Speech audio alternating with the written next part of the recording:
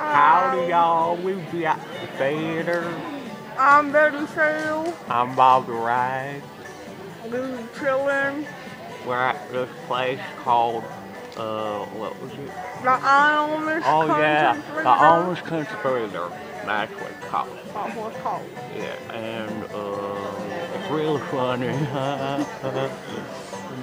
I really like it. Well, my heaven. well, my heaven. Y'all should come see it. Um, it's in Holmes County in Ohio. And um, we're here with my dad and stepmom. We got a Stalker. And we, yeah, yeah, we got a stalker. Our stalker's really scary. He's really scary.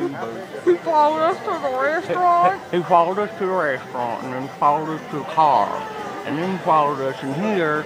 And now, uh, uh, just a little while ago, we saw him. He followed us to the bathroom. It was really scary. He might come back to the house, but we got a game plan. We're gonna call the cops. But first, I have to move, move my moonshine distiller so the cops don't see that I have to make my own moonshine.